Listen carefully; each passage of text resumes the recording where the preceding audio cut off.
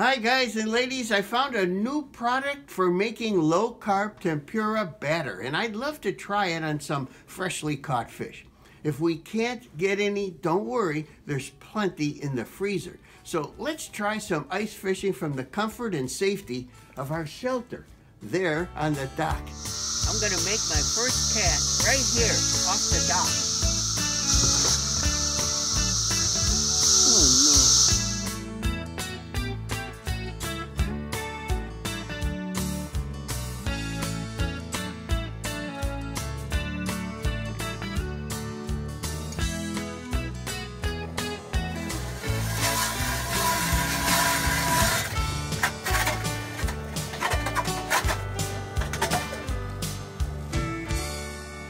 That noise you hear is a Coleman lantern. It not only gives off light, but more important today, it gives off heat. It's only 12 degrees outside. So this is what I'm going to use. It's just a little ice fishing lure and on it are a couple of very small mealworms. I'm going to drop this to within six inches of the bottom. I don't know what it is. It's fighting like crazy.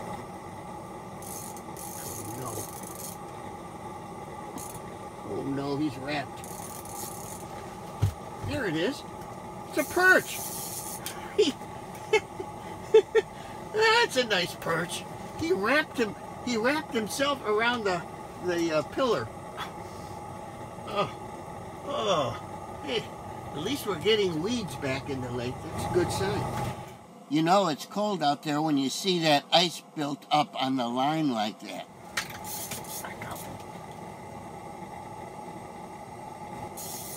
Got a little bass.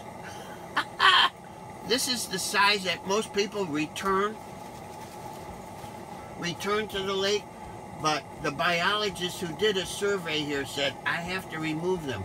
They're just too many this size, and besides, two good fillets are on there. Frankly, I'm amazed I caught even two fish. I'm fishing in only like five feet of water instead of the usual seven. You see, the lake is down due to the drought. I got one. I got one. wow, another baby bass. All right, that's three. Those three fish give us six fillets, plus what I have in the freezer, plus some other things. Well, we have enough for our tempura recipe. Let's get back to the house.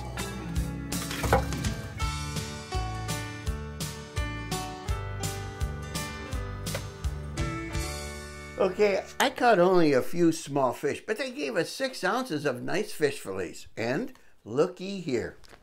I've got a pound of big shrimp. Wait, there's more. I have a bunch of onion rings. And last, I've got a bag of low carb tempura batter mix. Let's see what we can do with it. All I'm doing is drying out our onion rings. I'm going to put them in the refrigerator for a half hour. The directions are really contradictory here. Let's peel these guys right down to the tail. I'm not sure if this is a good idea or not, but I'm going to try to dry the shrimp out. I want the batter to stick as well as possible. Let's do the same with the fish. Okay, here I've got ice cold water. It's uh, two thirds cup plus one quarter cup. I'm doing a double recipe of this batter. I don't want to run short. Here's a beaten egg. I'm going to add that. I'm going to whisk it. Ice cold water and egg. Now I'm to add one whole cup of this uh, tempura batter plus a quarter cup. Double batch. Now we'll whisk again. This time I'm going to add a teaspoon of garlic powder. oh no. Now I'm just going to refrigerate this for one half hour. That's what it says.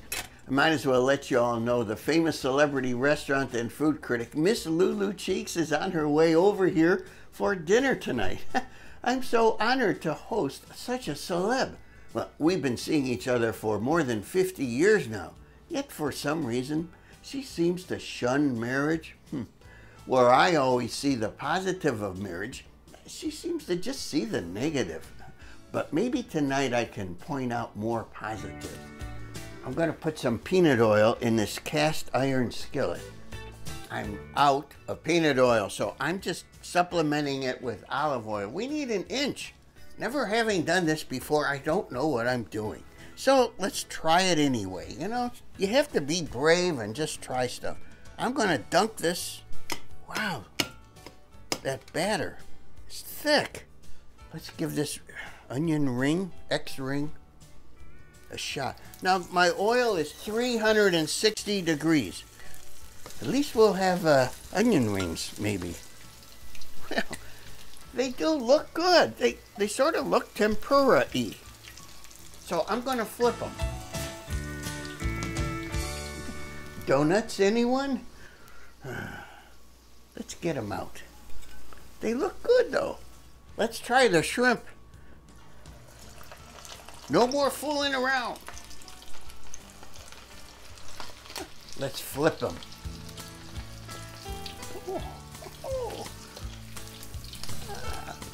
A piece of fish. Let's give it a try.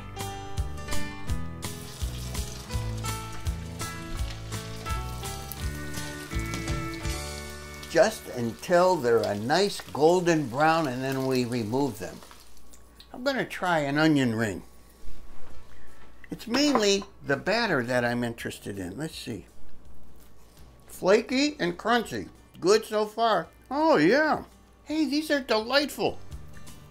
Oh, mmm. I know the shrimp and fish will be good. It just needs a little salt, that's all. Oh, oh. I should have made some dipping sauce, but I will. I'm going to try one shrimp. Mm. Mm, I dropped it. Oh, oh, mm-hmm. Oh, you're gonna love this. I'm gonna try a little fish. Hmm, crispy outside, of course. And look at that. Very tender inside. Just add a little salt. Woo! Wonderful. Hmm.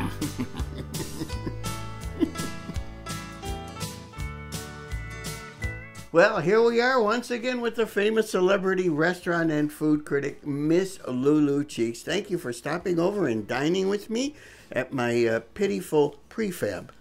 You're welcome. And you had a chance to uh, partake of my onion rings and fish and shrimp. And what did you think? I thought it was delicious. The Really? tempura batter was excellent, and it was light but tasty, and everything came out very well. Thank you Mm. I very thought much. so too. Thank you. Yes. Thank you. Miss Cheeks?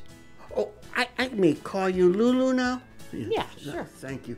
you. You know our friends Frank and Jane. Hmm. They seem so happily married. You know, I heard that he still opens the car door for her. What a nice gesture that must be. Yeah, yes, I heard that too. But you failed to mention they were going 70 miles an hour. Oh. hmm. Uh, can I have a hug?